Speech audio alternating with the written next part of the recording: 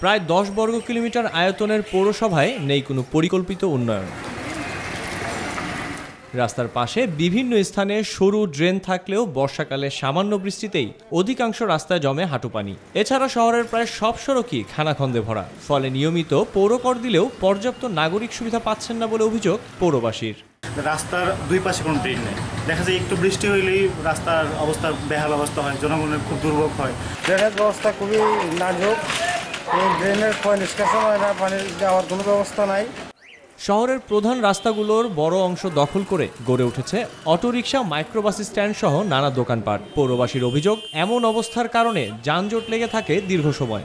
এই ফুটপাত hawker market সহ সাধারণ মানুষের চলাচলে বাধা বিঘ্ন হচ্ছে। বিভিন্ন দোকানপাট CNG rickshaw auto rickshaw maxi bus এগুলা স্ট্যান্ড গঠন করায় এগুলা যানজটের সৃষ্টি হয়েছে। কিছু সীমাবদ্ধতার কথা স্বীকার করে এসব সমস্যার সমাধানের আশ্বাস দিয়েছেন পৌর মেয়র। নবীগঞ্জ পৌরসভার ভৌগোলিক কিন্তু একটা সমস্যা আছে। যেমন শহরের ভিতরে যথেষ্ট সরকারি জায়গা নাই।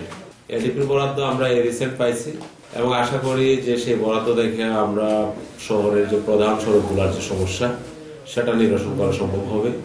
উনিশশো সাতানব্বই সালে প্রতিষ্ঠিত হবিগঞ্জের নবীগঞ্জ পৌরসভাটি শুরু থেকেই প্রথম শ্রেণির মর্যাদা পায়। বর্তমানে স্থায়ী ও অস্থায়ী মিলিয়ে এই পৌরসভায় বসবাস করছে তেত্রিশ হাজারেরও বেশি মানুষ। Desk report, news twenty